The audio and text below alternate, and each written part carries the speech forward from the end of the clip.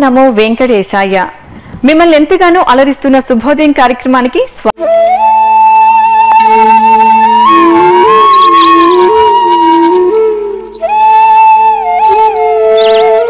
నిత్య జీవన విధానంలో ఏ విధంగా నడుచుకోవాలో ఎంతో మంది ఋషులు మనకు తెలియజేశారు. వాటిలో కొన్నింటిని ఈ రోజు ఋషివాక్యం ద్వారా తెలుసుకుందాం. ఆకాశరాజ తనయ సాకల్య హృదంతరాళ సమ్మోహన వేదాకుంఠిత సంస్థవన నాకాధీశాది వినుత నవ్య గుణగణ దేవేంద్రాదుల చేత సంకీర్తనం చేయబడుతున్నటువంటి దేవదేవుడు కలియుగ ప్రత్యక్ష దైవమైనటువంటి శ్రీనివాసుడు శ్రీ వెంకటేశ్వరుడు.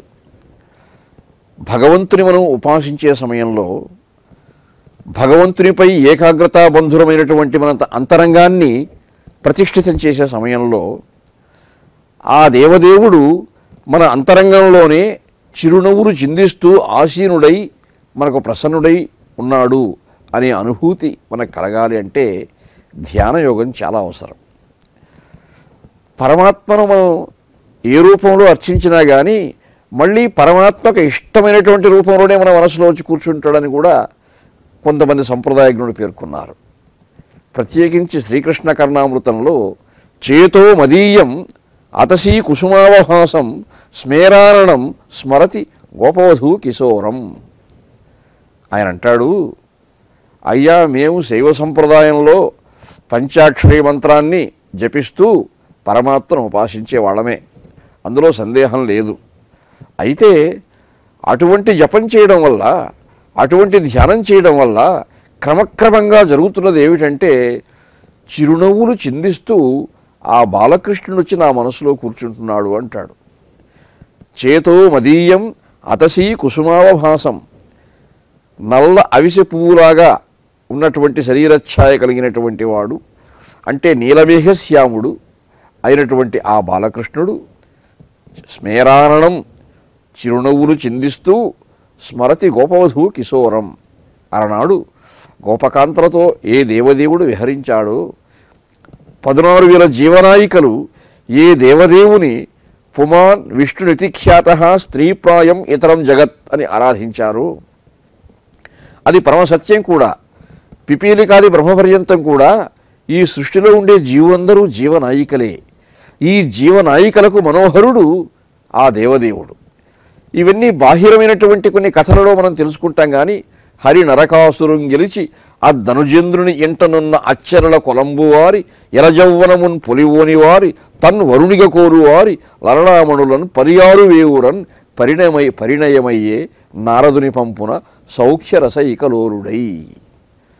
అటువంటి సౌఖ్యరసైకలోరుడైనటువంటి ఆ పరమాత్మ ఏ అనుష్ఠానపరుడు ఏ సదాచారపరుడు ఏ దీక్షాదక్షుడు ఏ శరణాగతుడు అతని మనస్సులో ఉన్న ఏకాగ్రత పరిపక్వం చెందింది అంటే వచ్చి మనసులో కూర్చుంటాడు. అదే లీలాసుకుల వారు చెప్పారు. స్మేరారణం స్మరతి గోపవధూ కిశోరం. శ్రీకృష్ణ భగవానుడు అన్ని యుగాలకు కృష్ణస్థు స్వయం భగవాన్ అని పెద్దలు చెప్పారు. అటువంటి కృష్ణ భగవానుడు ఆయనేమో జపించేది ఇంకొక మంత్రమైనా కానీ ఇంకొక సంప్రదాయమైనా కానీ ఏదైనా కానీ అక్కడ ఉన్నటువంటి ఆ ఏకాగ్రత బంధుల చిత్తవృత్తి పట్ల పరమాత్మ ఆకృష్టుడై ఆయన వచ్చేశాడు.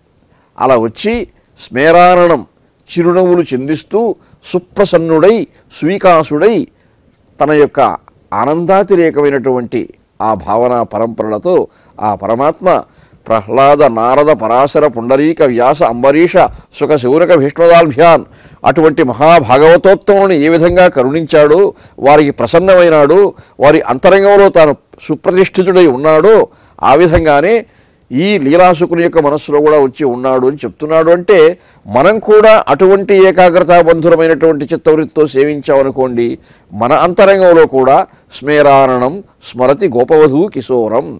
ఆ గోపవధూ కిశోరుడైనటువంటి బాలకృష్ణుడు మనల్ని కూడా అనుగ్రహిస్తాడు మన అంతరంగంలో కూడా వేంచేస్తాడు ఆ దేవదేవుడు అని మనం తెలుసుకోవాలి.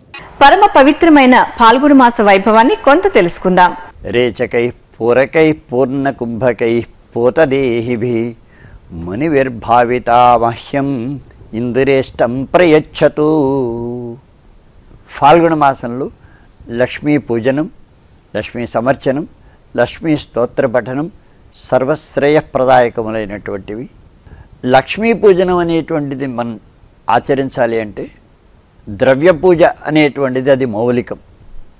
ఆ పైన స్తోత్ర పఠనం అనేటువంటిది అది సిద్ధిప్రదాయకం.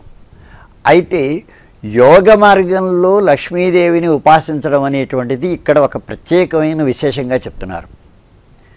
శరీరాన్ని శుద్ధిపరచుకోవాలి అంటే భౌతికమైన ద్రవ్యాలతోటి స్నానాదుల్ని ఆచరించి శుద్ధిపరచడం అనేటువంటిది లౌకికమైనటువంటి విషయం.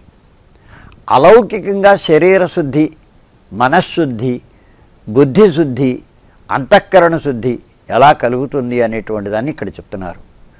యోగ మార్గంలో రేచక పూరక కుంభకములు అనేటువంటివి ఏవైతే ఉన్నాయో ఈ త్రివిధములైనటువంటి వాయుగ్రహణ మార్గములు ప్రాణాయామంగా కీర్తింపబడేటువంటివి ఏవైతే ఉన్నాయో దానివల్ల పూతదేహిభి శరీరం దోషరహితం అవుతుందట అటువంటి విశుద్ధమైనటువంటి శరీరంతో కూడినటువంటి యోగులు మునులు ఎవరైతే ఉన్నారో వారందరూ ఏం చేస్తూ ఉంటారంటే నిరంతరం అమ్మవారిని మనస్సులో స్థాపించుకొని భావించుకుంటూ ఉంటారట. అటువంటి మహర్షుల చేత భావింపబడేటువంటి ఆ జగజ్జనని మహ్యం నాకు ఆ ఇందిర ఇష్టం ప్రియచ్చదు ఆ ఇందిర నాకు ఇష్టం ప్రియచ్చదు అంటే కోరిన కోరికలను తీర్చుగాక అనేటువంటి ఆలోచనతో ఆ అమ్మవారిని మనం స్తుతించుకోదగినటువంటి మాసం ఈ ఫాల్గుణ మాసం. ఈ రోజు తిథి వార నక్షత్రాల విషయాలను తెలుసుకుందాం. ఈరోజు మార్చి ఇరవై ఆరవ తేదీ చాంద్రమాన విలంబినామ సంవత్సర ఉత్తరాయణ శిశిర ఋతువులో ఫాల్గుణ మాసంలో కృష్ణపక్షంలో షష్ఠీ తిథి అనురాధ నక్షత్రం మంగళవారం. ఇక్కడ మనకు కొన్ని విశేషాలు ఉన్నాయి తిథి షష్ఠి కనుక సుబ్రహ్మణ్యేశ్వర ఉపాసనం అనేటువంటిది చాలా యోగ్యమైనటువంటి విషయం. ఎందుకు షష్ఠి నాడు సుబ్రహ్మణ్యేశ్వర స్వామి ఉపాసనం అంటే సుబ్రహ్మణ్యేశ్వర స్వామి ఆవిర్భవించినటువంటి జన్మతిథి షష్ఠి కనుక ఉపాసన చేస్తాం. అయితే ప్రతి మాసం జరిగేటువంటి ఈ సుబ్రహ్మణ్యేశ్వర ఉపాసన వల్ల జరిగేటువంటి ప్రయోజనాలు రెండు రకాలు. అవి భౌతికమైనటువంటి ఐహికమైనటువంటి ప్రయోజనాలు సర్పదోషాదులన్నీ తొలగుతాయి. అది అలౌకికమైన ప్రయోజనం ఏమిటి అంటే సమస్త జగత్తుల్లో ఉండేటువంటి సాంసారిక బంధాలు ఏవైతే ఉన్నాయో ఈ బంధాల నుంచి విముక్తి కలిగి మోక్షానుకూలమైనటువంటి బుద్ధి ఏర్పడుతుంది. మోక్షప్రదాయకం కూడా సుబ్రహ్మణ్యేశ్వర ఉపాసన. అందుకని సుబ్రహ్మణ్యం సుబ్రహ్మణ్యం సుబ్రహ్మణ్యం ఓం అని చెప్పేసి కీర్తిస్తూ ఉంటారన్నమాట. కనుక ఇలాగ మోక్షగాములైనటువంటి వారందరూ కీర్తించదగినటువంటి సందర్భం ఈ సుబ్రహ్మణ్య ఉపాసనం అనేటువంటిది.